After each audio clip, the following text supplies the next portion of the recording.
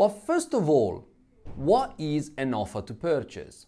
It's a contract, and in the laws of South Africa, it's a very important legally binding contract.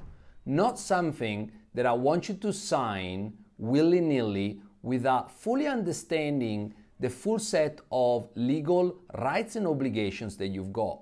And because it's a contract, it's open to the negotiations between the parties, being the purchaser and the seller, and in some cases, an intermediary or an agent.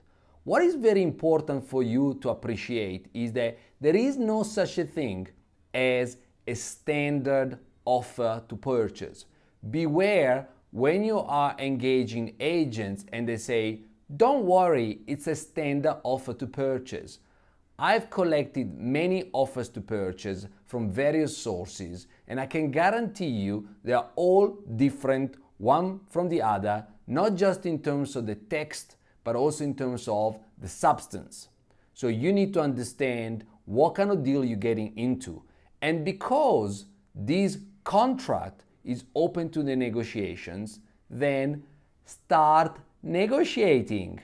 That's what I want you to do. I want you to negotiate within the boundaries of laws, the boundaries of law South Africa, then everything can be negotiable. So, what is the one first thing that I want you to negotiate? I want you to negotiate that you are going to appoint as the purchaser your preferred conveyancing attorney.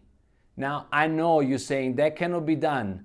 Of course, it can be done. It boils down to your ability to persuade the seller and or the intermediary why you want this to be done. Now, I insist on this for a number of reasons. The first one is because all my students and myself get a very substantial pre-negotiated discount from your trusted conveyancer. Not only your trusted conveyancer is likely to have all your information on file to really reduce the amount of paperwork and administrative burden that is increasingly becoming a real pain when dealing with property transactions in, in South Africa. That is quite an important reason for you to appoint your conveyancer. And even if you don't get away with that, please make sure that the discount on the absurdly high fees that conveyancers are charging to do what is actually ultimately a very simple piece of paperwork is pre-negotiated and written in the offer to purchase. Remember, if it's not written in the offer to purchase, you're simply exposing yourself to massive risk because you might get that discount or you might not get it. Now, on a 1 million rand property, a 20% discount is worth about 3,500 rand. Why should you leave that 3,500 rand on the table? You can use it otherwise to pay for other costs, and I know that the transfer costs are always high, and save that money, save it for you. There are other reasons that are more complex that I'm going to share with you in further episodes of this series about why you should be appointing a conveyancer. The second thing I want you to do is I want you to appoint as the purchaser your trusted electrician to issue a certificate of compliance. Again, be prepared to, for a tremendous amount of resistance for that. But there is no law in South Africa that gives the right to the seller to do such thing. So why do I want to appoint my trusted conveyancer, your trusted, uh, your trusted electrician, apologies? Simple, because I want to make sure that that certificate of compliance is genuine. I want to avoid the unnecessary risk of fraud or poor ethics on the seller telling me that the certificate of compliance has been issued but simply by a friend of his.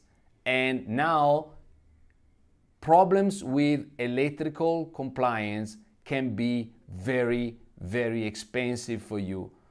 You want to reduce risk, you want to eliminate unnecessary risk. Appointing your electrician is a fundamental step in that process.